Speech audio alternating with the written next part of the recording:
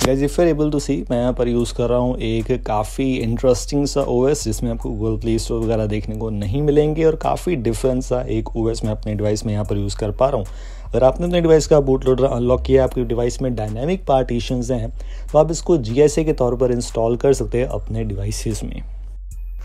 आप अपने notification panel checkout कर सकते हैं। Currently running a dynamic system restart to use the original Android version मैं फ़िलहाल यहाँ पर एक GSI यूज़ कर रहा हूँ और मैं आपको मेथड बताऊँगा कैसे आप अपने डिवाइस में GSI को इंस्टॉल कर सकते हैं। काफ़ी इंटरेस्टिंग तरीके से सिंपल तरीके से विदाउट आपको कोई भी इशूज़ देखने को मिलने चाहिए नहीं।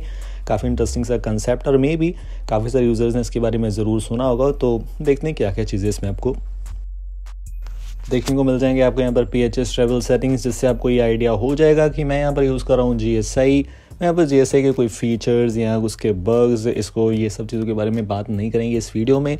मैं आपको थोड़ी सी बेसिक चीज़ें बताने के बाद ये बताऊँगा कि ये जी एस आई को आप अपने डिवाइस में कैसे इंस्टॉल कर सकते हैं। देखिए, वैसे तो काफ़ी सारे यूज़र्स को इसके बारे में पता होगा, लेकिन अगर आपको नहीं पता है तो आपको इस वीडियो में उसके बारे में थोड़ी सी इन्फॉर्मेशन दूँगा। मेक श्योर sure कि आप डायनामिक पार्टीशन यूज़ करें। डायनामिक पार्टीशन क्या होता है, उसके बारे में आई डोंट थिंक सो कि मैं आपको ज़्यादा एक्सप्लेन कर पाऊँगा। एग्ज़ाम्पल के लिए बता दूँ रेडमी नोट एट तक मेरे पास जो डिवाइसेज हैं, वो सभी without dynamic partition Redmi note nine S pro pro max Poco M two pro Redmi note ten pro Redmi note eleven ये सभी डिवाइसेज जो हैं, वो डायनेमिक पार्टीशन को सपोर्ट करते हैं। तो आप उस हिसाब से चेकआउट कर सकते हैं। Google dot com is a best choice for you तो कैसे इसको इंस्टॉल करना है? क्या ही? रिक्वायरमेंट्स हम सबके बारे में इस वीडियो में बात करते हैं। तो चलते हैं, इसको इंस्टॉल कैसे करना है आपके डिवाइस में? उसकी तरफ़ सबसे पहले मैंने अपने डिवाइस में यहाँ पर उस चीज़ को रिस्टोर कर लिया। अगर आप देख पाएँगे dynamic system is ready to start using it restart your device आप स्टेटस बार में टाइम को चेकआउट कर सकते हैं। मैं यहाँ पर अपने डिवाइस का जो स्टॉक यानी कि स्टॉक कस्टम रोम यानी कि कस्टम रोम में वापस आ चुका जो मैं यूज़ कर रहा था पहले इस वीडियो के स्टार्ट होने से पहले। तो उसी में यहाँ पर मैं दोबारा वापस आ चुका हूँ। GSA को मैंने डिलीट कर दिया अनइंस्टॉल कर दिया। D S U side loader के बारे में मोस्ट प्रॉब्ली आप लोगों ने सुना होगा। अगर आपने नहीं सुना है तो उसके बारे में ही ये वीडियो है। अगर आपने सुना है तो it's good D S U side loader से आप अपने किसी भी डायनामिक पार्टीशन डिवाइस में जी को इंस्टॉल कर सकते हैं। बस आपका जो डिवाइस का बूट लोडर है, वो अनलॉक्ड होना चाहिए रूट एक्सेस इनेबल होना चाहिए। वैसे आप एडीवी से भी ग्रांट कर सकते हैं। एक और रिक्वायरमेंट है उसको कीप दिस इन माइंड कि आप यहाँ पर मैजिस क्वेश्चन 24.1 यूज़ कर रहे हो। अगर आप मैजिस 23 यूज़ कर रहे हैं तो वहाँ पर अनफॉर्चुनेटली ये चीज़ काम नहीं करेगी। तो मेक श्योर sure कि आप मैजिस 24.1 ही यूज़ कर रहे हो। मेरे केस में मैं स्टेबल मैजिस 24.1 यूज़ कर रहा हूँ। अगर आप मैजिस 23 यूज़ करेंगे तो वो चीज़ काम नहीं करेगी। सो डोंट रिपोर्ट बग्स और ये चीज़ की काम नहीं कर रही है एक्सेट्रा एक्सेट्रा मैं कोई भी मॉड्यूल वगैरह यहाँ पर यूज़ नहीं कर रहा हूँ, इसको यूज़ करने के लिए काफ़ी ज़्यादा सिंपल थिंग है मेरे ख्याल से। उसके बाद मैं एक बार इसको डिस्कार्ड कर देता हूँ ताकि मैं आपको फ्रेशली इंस्टॉल करके दिखाऊँ। जी को इंस्टॉल करना कैसे?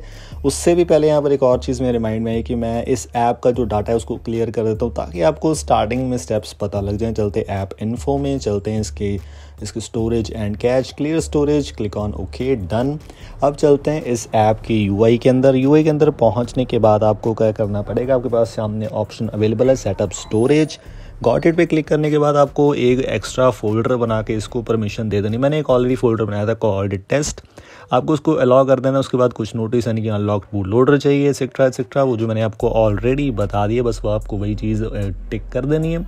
उसके बाद आपको एक और चीज़ करनी मैं आपको यहाँ पर एक चीज़ बता दूँ मैंने इसको रूट परमिशन ऑलरेडी ग्रांट करी हुई है। अगर आपको रूट परमिशन आए तो आपको उसे ग्रांट करना पड़ेगा। अगर रूटेड नहीं है तो आप ऐसे एडीबी से परमिशन ग्रांट कर सकते हो, उसके बारे में यहाँ पर बात नहीं करेंगे।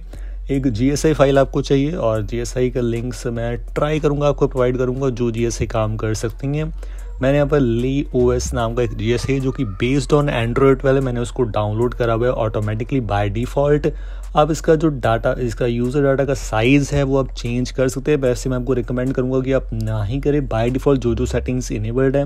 बस आप वही करने के बाद install G S I via D S U और उसके बाद आपको प्रोसीड पे क्लिक कर देना है एंड प्रोसीड पे क्लिक करने के बाद कुछ टाइम के लिए आपको वेट करना पड़ेगा।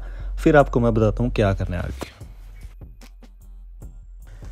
तो जैसे ही वो चीज़ हो जाएगी, सारा कुछ हो जाएगा तो आपके पास आपके डिवाइस का पासवर्ड आपको लगाना पड़ेगा।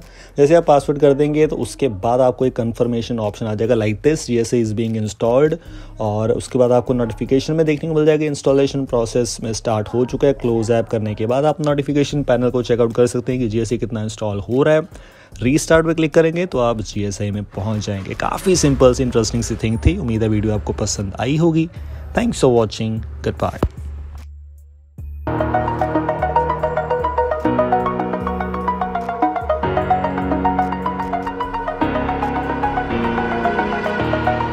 Over the edge. Feel like I'm floating through the air.